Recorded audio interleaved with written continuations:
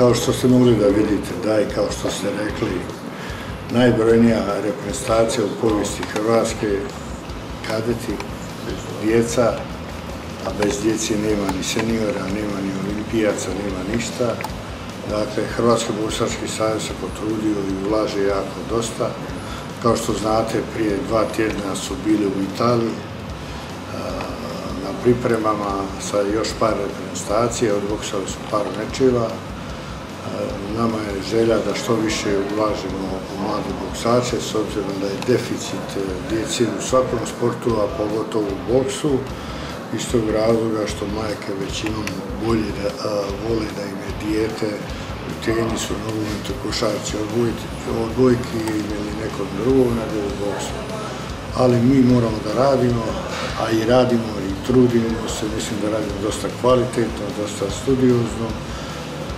Evo, vidjeli ste, imali smo jedan e, kvalitetan sastanak i nije važno medalja, svakako da je važno, ali važno je da oni probiju taj prvi led, jer mnogi je prvo prvenstvo Europe i prvi odlazak vani, tako da djeca imaju tremu, ali uz našu podršku koju ću dati ja ili ja ću sutra u Banja Luku, s obzirom da je to specifična sredina, pa moram malo da podržim im dan do znanja da sam ja tu i onda će biti sigurno svima lakše.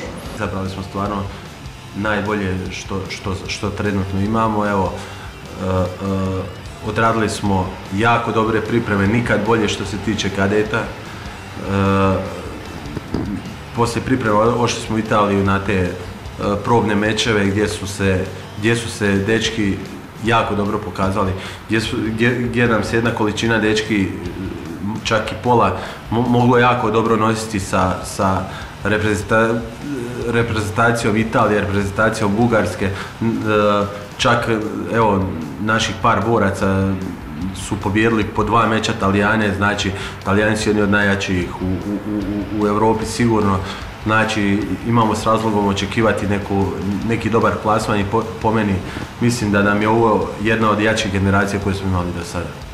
Ovo mi je druga godina da sam na europskom prvenstvu.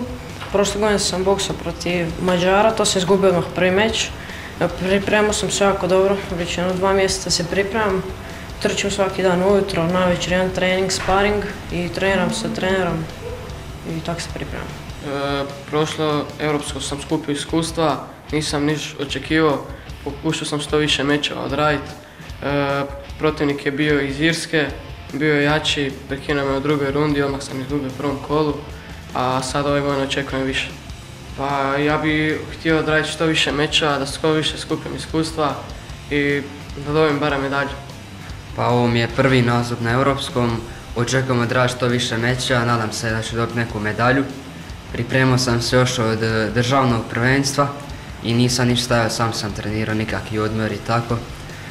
Ovaj, na državnom sam bio prvi normalno i prošle godine sam bio drugi i imam negdje oko 21 meč. Ovo mi je prvi nastup na europskom. E, očekujem da htio bi napraviti što više mečeva. E, pripreme su bile na Velesima, onda smo išli na turniru u Italiju i tamo smo skupili iskustvo. Stalno sam sparirao u klubu, treneri su u klubu bili dva puta dnevno i teški su bili jako treninzi. Ovo mi je prvo europsko prvenstvo, inače imam 8 ili 9 mečeva. E, I trenirao sam sa mojim trenerom Rađom i još jednim trenerom Franjom. te sam bio na pripremama za europsko prvenstvo ovdje tu u Zagrebu. Prošle godine i ove godine nije za usporediti ove reprezentacije puno iskusnija, puno jača. Znači imamo recimo sedam boksača koji, koji imaju od 25 do 35 mečeva. Znači to je, to prošle godine možda je bilo dva, tri boksača koji su imali najviše 12 mečeva, znači to je ogromna razlika. Evo kažem i prošle su odlične pripreme i ja mislim da imamo s razlogom za očekivati neku medalju.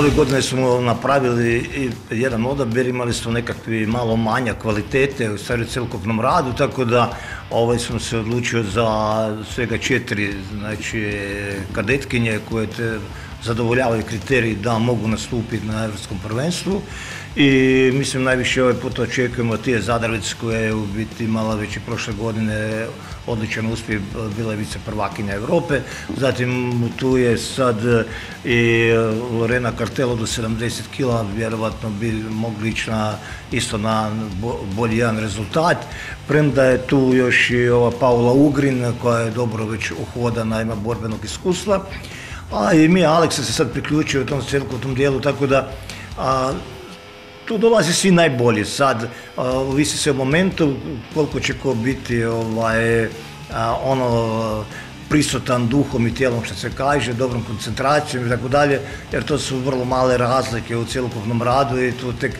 neki detalji sitni mogu odigrati kod sudaca isto određene uloge, a i suci sude tako kako sude, tako da se moramo sa svime u biti uhvatiti u košacu kod toga. Pa prošle godine bila sam vice prvakinja Evrope, osvojila sam drugo mjesto. To je bilo nešto iznimno pa to motivirate puno, da ti vjetar u leđa zapravo i imaš više iskustva u tome.